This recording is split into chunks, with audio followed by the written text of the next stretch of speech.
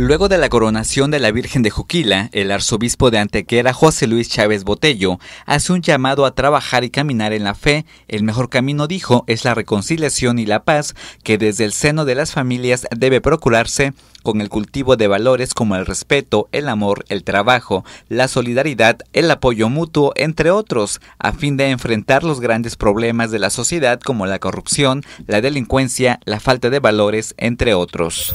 y la paz quiere decir vamos sanando a esta sociedad, vamos aportando la medicina, porque a algunos parece que vivimos como enemigos, le estamos dando veneno a la sociedad en lugar de, preocuparnos por ella, de la que somos parte.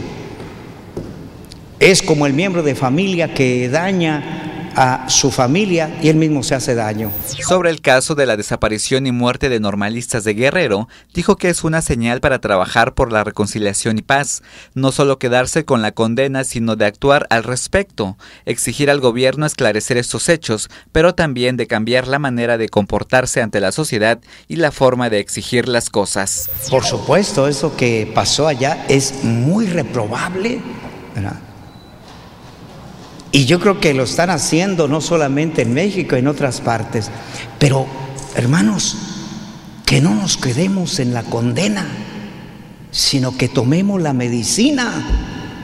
¿De qué nos sirve quejarnos y quejarnos de un mal grave si no tomamos la medicina?